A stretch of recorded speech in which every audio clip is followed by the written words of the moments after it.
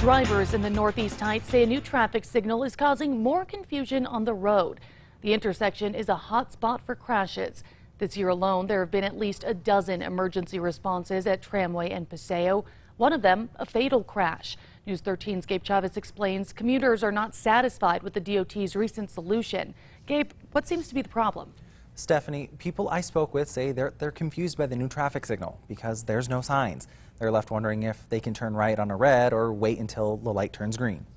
It's not really clear where you're supposed to stop. I know for me, I've almost been rear-ended because I've interpreted it to stop at the light and then merge into uh, the turning lane, and other people don't think that I'm going to stop that that soon.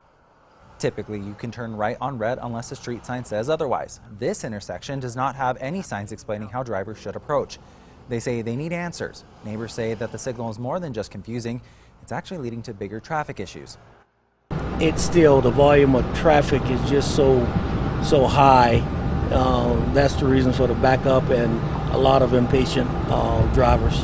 This isn't the first time we've told you about this intersection. In 2020, the state installed barriers creating a designated bike lane, but at the time, drivers said that it was creating a safety hazard.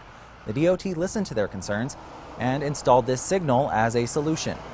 NMDOT used to have a yield sign at the intersection, but it was recently removed to help clear up any confusion. Back to you.